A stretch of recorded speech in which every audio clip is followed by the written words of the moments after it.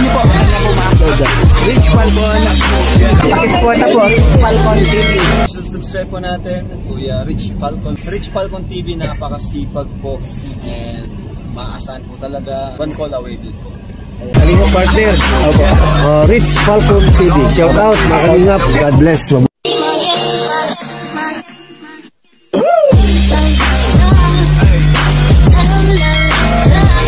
Ayan, ah, magandang araw po. Ah, magkasama kami ni Kuya Ruel ngayon. Shout out Kuya Ruel. Ayan, isang kaway naman dyan. Ayan, papunta po kami ngayon sa may-ari ng lupa na tinitirikan ng bahay nila ngayon. Dahil nga po, umpisahan natin yung pagpapagawa ng ah, kubo para kila Kuya Ruel.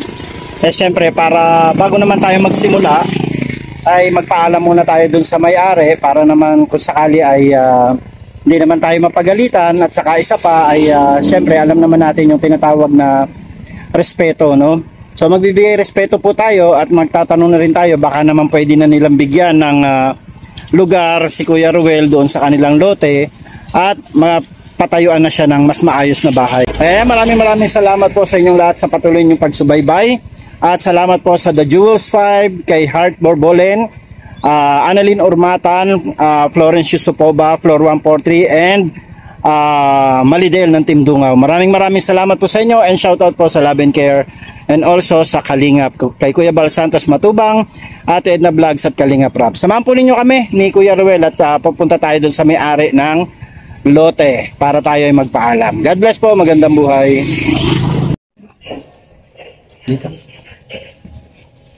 Ito anak ko, anak ko to nasa Qatar. Yan, yan. Ayan, inabot po tayo ng malakas na ulan dito sa Daet na sa bangko tayo. Ayan, ah, medyo pahinga muna kami dito ni ano pati patila muna kami ng ulan dito ni Kuya Ruel. At galing na po kami doon pala sa ano sa may-ari ng lupa. At napakagandang balita po ang ah, ang nangyari no? dahil ah, na-meet namin ng personal si Mr. ah, Felix Abanyo. Maraming salamat Sir Felix Abanyo dahil po naging maayos yung usapan natin regarding po sa lupa nila Kuya Roel. At ngayon po ay ah, pwedeng pwede na na sila Kuya Roel ay makapagtayo ng maayos na bahay doon sa lupa ng mga Abanyo. Ayan, thank you so much po Sir Felix Abanyo. Ayan, ah, Honorable Councilor ah, Felix Abanyo. Thank you so much po. Dahil ah, napaka-generous niyo po talaga at hindi po kami nahirapan na makipag-usap sa inyo. At ah, talagang ah, napaka down to earth. Grabe po sa laki ng lupain nyo. Ah, maraming maraming salamat po talaga dahil ah, kahit pa paano po ito pong aming pinakiusap sa inyo na si Kuya Ruel ay ah, nabigyan po ng ah, pagkakataon na magkaroon sila ng sarili. Yan. hayaan nyo po yung pinapagawa po ninyo na ah, letter ay ah, gagawin po namin agad. Maraming salamat po ng Ruel. Ayan, nabot tayo ng ulan dito. Ruel, anong pakiramdam mo dun sa kausap natin kanina? Ito ah, maganda, maganda mo po. Okay, pakiramdam. Ang ganda na ng pakiramdam mo ngayon. Nagkaroon ka na ng sarili mong lupa. May tatayuan ka na ng bahay. Di ba? Grabe. Kahit ako rin po natutuwa po ako para kay Kuya Ruel. Alam niyo naman po, kami talaga ay ah, kung ano lang po yung talagang para kila Kuya Ruel ay yun po yung gagawin natin. So ayan, na magkakaroon po sila ng usapan sa pamilya nila kasi meron lang pong ah, requirements na hinihingi si Sir ano. Ayan, so maraming salamat po ah, Sir Felix Sabanyo. God bless po. ah, mabuhay po kayo at pagpalain kayo ng Panginoon at bigyan pa po kayo ng mahabang ah, buhay at malakas na pangangatawan. God bless po at shout out po sa lahat ng mga sponsor natin dyan. Ready ready na po sila Kuya Ruel para magawa yung kanilang bagong bahay. No? Ayan, salamat po. God bless. Magandang buhay. Ah, nakabalik na po kami dito at ah, si Aljos ay ah, bababa pa sana kami kaya lang paakyat na sila. Ayan, kasama si Ate Helen. So, tamang-tama sa Sabado kung hindi uulan ay magbabagasbas tayo. Oo, okay lang sa'yo? Kayo po. Oo. Dagat. Magdagat tayo, no? Good news, Ate Helen. Opo, sana hindi matulan. Ate Helen, good news. Nag-adjust daw. Dito ka, dito ka Ate Helen. Yan, mag, Ganda daw balita! Dito ka, tabi ka kay kuya. Yan. Nakausap na natin si Sir Felix Abanyo. At ah, Kuya Ruel, anong sabi? Sa, sabi sa akin ay bibigay siya bibig- bibigay siya ng 80 square meter. Yun! Oh, praise God. Dahil lang maganda-ganda. Bigay lang, bibigyan kayo ng 80 square meters. Ay, praise God. O 80. Ay, cinta. 80 na kulang lang ng 20 para sa isang daan. Pero yun ang gusto niya, 80 square meters. At ang maganda ito, pinapagawa ako ng sulat. Katunayan, katibayan na ibibigay niya sa inyo yung lote na yun. Okay? Pero yung Ayan. bahay isa lang ang ano, Oo. makikita niya. Doon lang sa loteng ibibigay niya, doon lang magbabahay. Yon, ang kailangan ninyong pag-usapan ngayon mga anak mo, yung bahay na yan, kailangan niyang tanggalin. Kasi yung bahay niyan, ililipat doon sa loteng ibinigay sa inyo. Ay, hindi daw dito. dito, dito. Hindi, wag daw dito. Ayaw nila dito. Ay, ay, ay. Doon, doon sa may lote doon ang binibigay. Susukatin natin yan at ah, hanapin natin yung muhon at binigyan naman tayo ni ah, sir ng ah, authorization na sukatin yung paglalagyan lang ninyo. Tapos, pipicturean natin yon gagawa tayo ng letter at ipapakita natin sa kanya para mapirmahan niya yung letter. Nakatunayan na binibigay niya sa inyo yung lote. Ayos ba? Ay, po. Ay. Sarili na. Kasi Sa sarili na, di ba? Nakakatuwa, di ba? sarili. Konting effort lang ang ginawa natin, Kuya Ruel. Di ba? Pumunta lang tayo doon kasi yun ang tama. Kaya nga sabi niya, mabuti ka pa naisip mo na magbigay ng respeto sa akin. Sabi niya, at least nandito kayo ngayon. Sabi nga kay Kuya Ruel, ano, maayos yung kasama mo. Natawa siya, no? Ang sarap kausap ni Sir.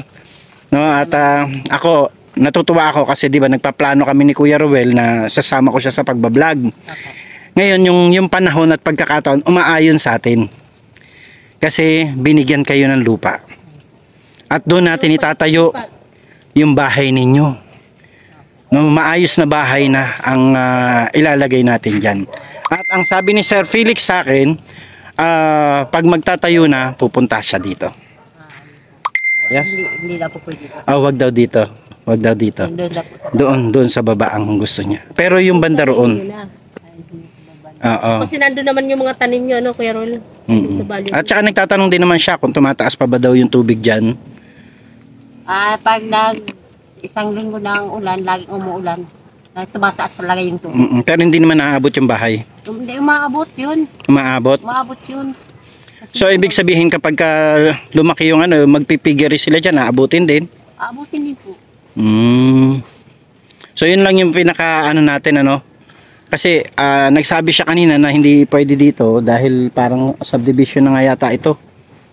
Subdivision na ito kaya hindi siya dito pwede makapagbigay sa inyo pero ganun pa man dahil sa pakikipag-usap natin kay Sir Felix nagbigay siya diyan sa baba di bale siguro ang gagawin na lang natin yan tataasan natin yung bahay mo no Merong silong na ano, oo para hindi naman Silong patang oh, hindi hindi hindi man siya up and down ibig sabihin ah, lalagyan lang natin ng silong para hindi siya abutin ng tubig Ah, paabot kasi yung tubig dito ay. oh pwede di taasan pa natin ng konti pwede naman magagdan ng mataas Sa CR. Mataas yung ano. Mm. ang gagawin natin poste, semento. Para yung hagdanan mataas. No? Kung sakaling magkaroon ng tubig, nandun kayo, hindi kayo maaabot ng tubig. Mm-mm. Kahit na nga siguro, hanggang dyan. Isang tao. Oo, kahit isang tao, parang up and down na nga rin, pero poste lang yung nasa ilalim. Bahala na kayo kung lalagyan nyo ng ano yung ilalim hanggat walang Upuan. no? hanggat walang ulan. Pero ang pinakabahay at tulugan nasa taas. Ganun ang gawin natin. Ano, Kuya Ruel? Tama? Okay ba sa'yo yon? Kaya lang, itong pag-uusapan natin, kailangan yung kausapin yung mga anak ninyo na yung bahay na inilagay dyan, kailangan ilipat doon sa lote na yun. Magiging dalawang lote kayo dyan, siguro tig 40 kayo. 40 sa kanila, 40 sa inyo. Kasi 80 square meters eh, di ba? Pero hindi pwedeng nakakalat daw ang bahay. Yan ang bilin sa atin. Yung dalawang bahay na yan, tatanggalin yan. Doon na lang ililipat sa loting ibinigay. So okay kayo doon. Okay na kayo doon. Wala ka ng problema, Ate Helen. O, diba? Maayon ang pagkakataon kasi may sarili na kayong bahay. Oo. Ay, ano. At saka ang kagandahan, nagpa-picture sa akin si, Kag- si, ano, si Sir. Kasama si Kuya Ruel. May, meron tayong proof na, na nakausap natin siya. Di ba? Ayan. Kaya ako natutuwa para sa inyo. Para sa inyo yan, hindi yan para sa amin, para sa inyo. At ah, gagawin natin ang lahat na magagawa natin na paraan para maitayo natin yung bahay. Ang gagawin natin, mataas ang silong. Mataas at Mataas ang silong para kahit papano kapag ah, tag-init, pwede ninyong gawing sala-sala, 'di ba? Lagyan natin ng mga kawayang upuan doon sa ilalim. Basta ang poste natin simento. No? Ay, ayusin na natin. Kesa yung paganyan-ganyan na bahay lang eh, inyo na 'yan eh. 'Di ba? pang buhay na. Habang buhay na 'yan, Kuya Ruel. Ah, hindi man natin sinasabi, mawala man tayo sa mundo, yung mga anak mo may pakikinabangan na. Mm, meron na silang bahay at lupa, Ate Helen. 'Di ba? Bahay at lupa na. Cement, Tapos yung ano yung ano. Mataas yung paghapon. Mm-mm. So yun ang gagawin natin ano.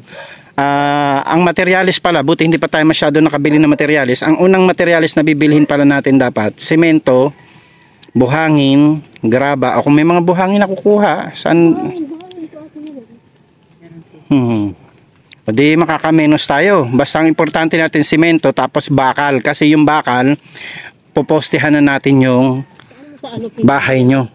At doon tayo sa taas magbabahay. Doon tayo maglalagay ng ah, pinaka ano nyo, tulugan sa taas. Para kung sakali mang dumating sinasabi nyo na may baha, hindi kayo apektado. Tama? So yun ang gawin natin ano, Kuya Ruel. Ayos ka ba? Tonto ako para sa inyo no.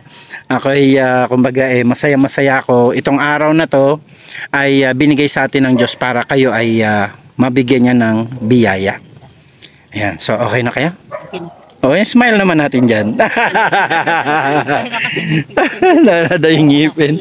Ayan, so, Aljos, ano masasabi mo? Masayang masaya ako para sa kanila kasi yun po ang problema talaga namin yung pagtatayuan ng bahay nila Kuya Ruel. Mm-mm. So ngayon praise God at tinugon din po ni Lord yung ating prayer na mabigyan din po sila kahit papano ng lupa. Mhm. Na Yan. sarili na po talaga nila, praise God, napakabuti ni Letter lang ang inaantay. Gagawa lang tayo ng letter na Pareho po, maayos. pareho silang pinagpala ni Lawrence kasi may nagbigay din po ng luto, di ba? Ah, kay Lawrence may nagbigay din. 40 square meters naman. Yung yung binablog natin diyan. Oo, yun May sa nagbigay din 80, sa kanya. kanila Sa inyo naman 80.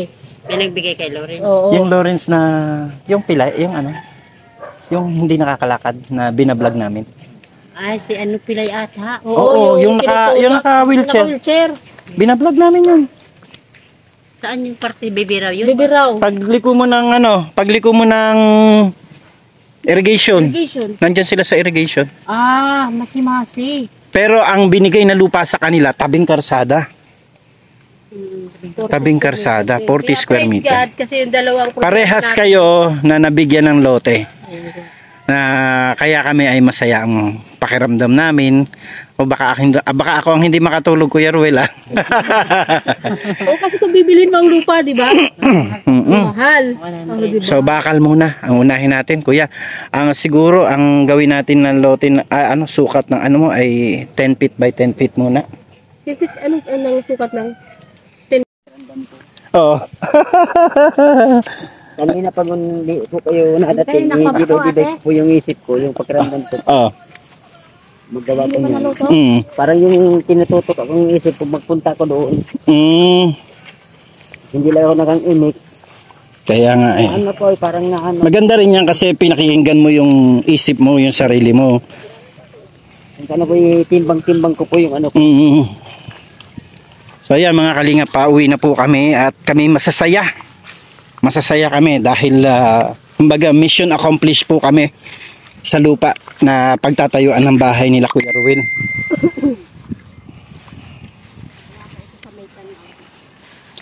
Ayaw pa nga yata ta- tayo pa alisin eh. Gusto niya pa ng ano, kak- kakwentuhan eh, no? Oo. Nag-isa lang siya sa bahay.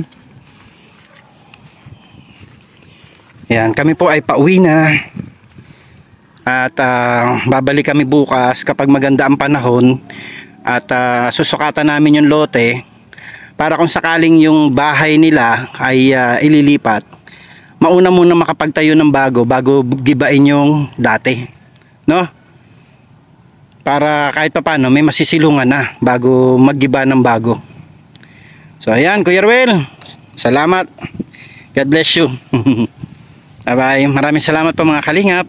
Kami po ay pansamantala magpapaalam at ah, wala pong pagsidla ng aming kaligayahan sa nangyari ngayong araw na to.